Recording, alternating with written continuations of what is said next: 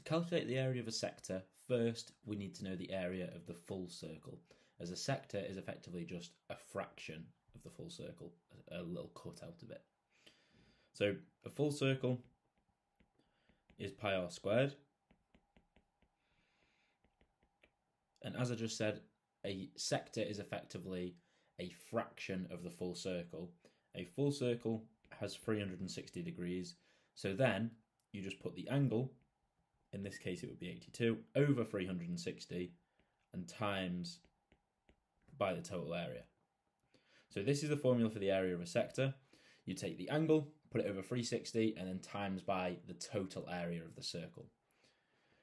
For this sector specifically, it's 82 degrees and has a radius of 12 centimeters. So subbing those in, you'd put 82 on the top over 360 times by pi times by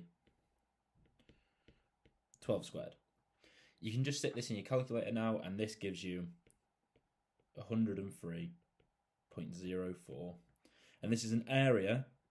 The radius was measured in centimeters, so this will be centimeters squared. So this is the correct area for this sector to two decimal places. The area of a segment is a little bit trickier. The segment is effectively the end of a sector.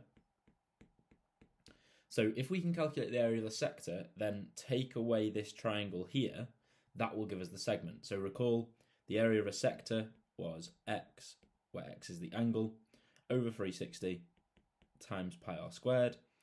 And then, in this case for the triangle, we're going to have to find the, the area. So that's going to use a half AB sine C.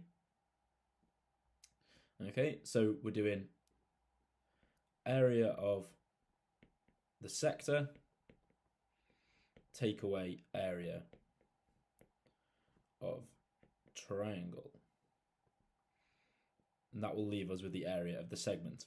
So subbing some values in here, let's first tackle the area of the sector. Well, we know the angle is 82 over 360 times by pi r squared, where r is 12.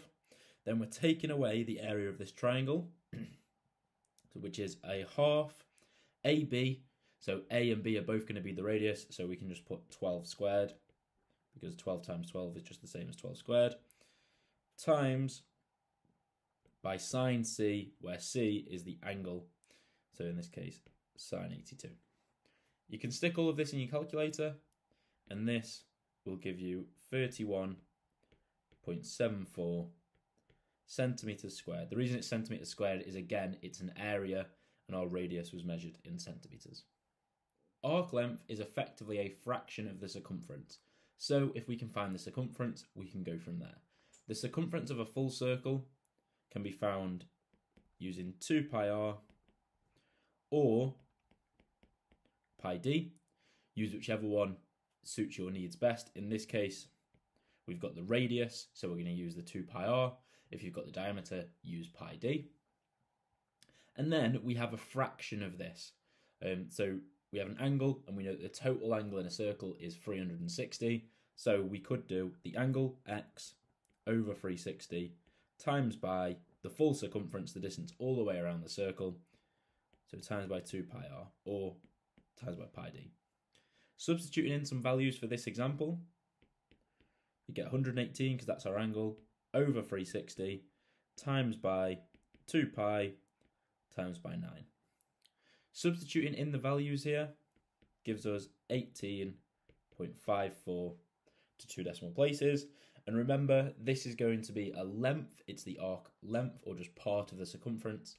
So it's just centimetres, not centimetres squared or centimetres cubed or anything like that.